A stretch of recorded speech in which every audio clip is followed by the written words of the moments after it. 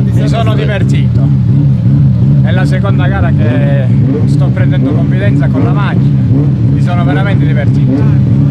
Quindi ora ci vediamo l'anno prossimo. Ci vediamo a Torano e poi ci vediamo l'anno prossimo. Ecco, Ringrazio a tutti e saluto a papà come sempre. Ciao. Classe RS 1006, terzo classificato Veneri Pietro Samuele, secondo Megale Roberto, primo Gardi Marco.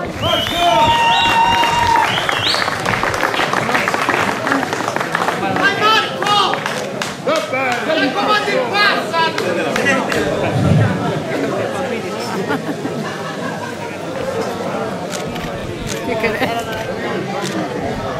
Complimenti ragazzi.